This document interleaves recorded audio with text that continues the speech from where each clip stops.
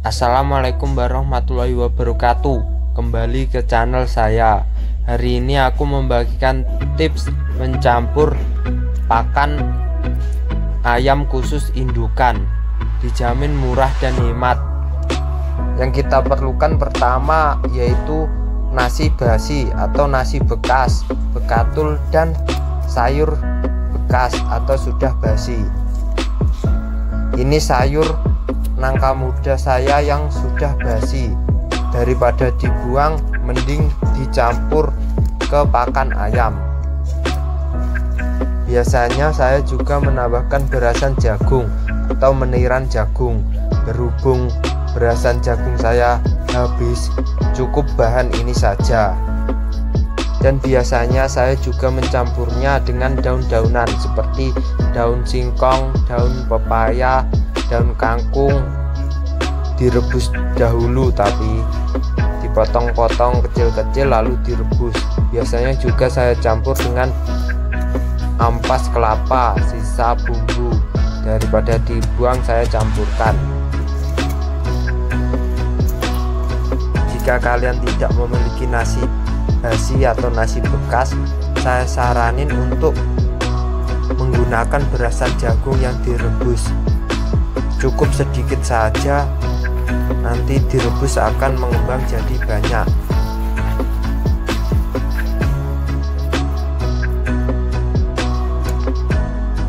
Lalu kita campur bahan-bahan tadi dengan menambahkan air.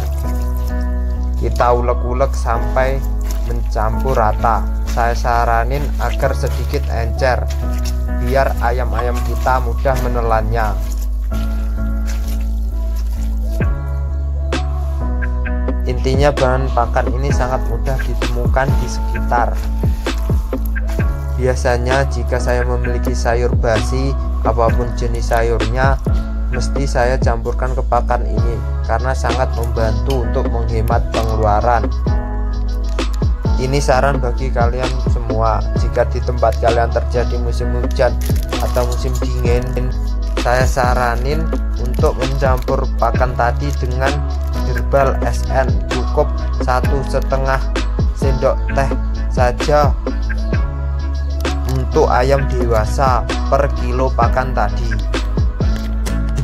Herbal SN ini sangat membantu di musim dingin karena dapat menambah daya tahan ayam dan memerahkan kulit ayam. Jadi di setiap musim penghujan atau menjelang musim penghujan saya selalu mencampur pakan tadi dengan herbal SN harganya pun juga murah. Setelah pakan tercampur seperti ini pakan siap diberikan untuk ayam. Langsung saja ke proses pemberiannya. Ini kandang saya walaupun hanya kandang kecil dan sederhana ini ayam-ayam saya. Sudah menanti saya untuk memberikan pakan. Ini pacek saya jenis mangon. Dan indukan-indukan lainnya. Langsung kita berikan ke ayam-ayam ini. Saran jika kalian membuat tempat makan ayam saya saranin bikin di tempat agak tinggi seperti ini agar tidak diinjak-injak ayam dan pakannya tidak kotor atau berceceran ke mana-mana. Dan ini saran lagi jika kalian memiliki kandang yang luas atau kandang yang banyak saya saranin untuk pisahkan ayam jantan yang janggaran atau lancuran ke tempat lain.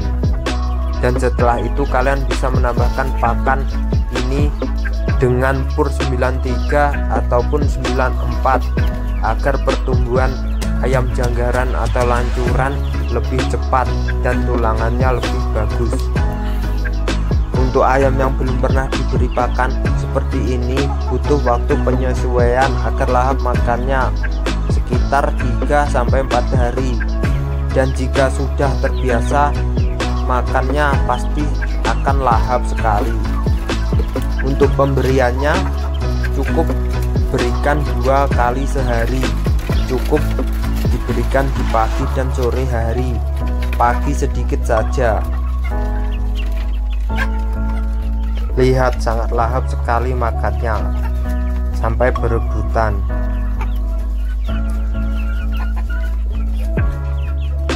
Dan saya minta maaf jika dalam video ini gambarnya bergerak-gerak. Maklum saya merekamnya sendiri sambil memberi pakan ayam mohon dimaklumi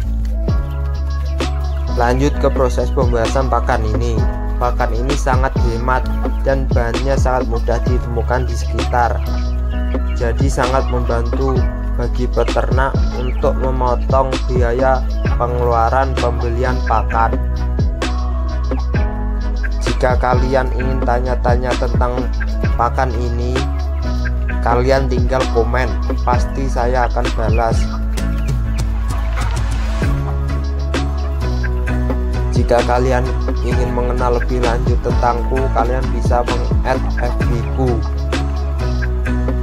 pasti saya akan konfir kalian juga bisa mengklik link di bawah ini. Nanti saya cantumkan di deskripsi link Facebook saya.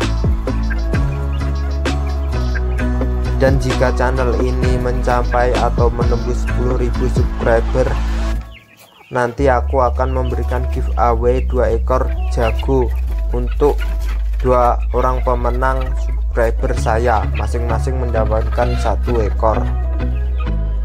Dan nanti saya akan kirim ayamnya lewat jalur bis ataupun jalur kereta api.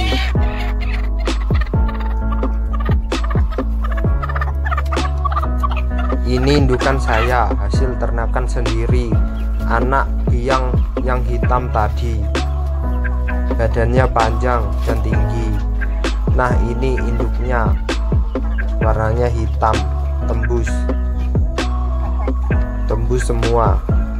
Oke jika kalian suka video saya jangan lupa like subscribe dan share.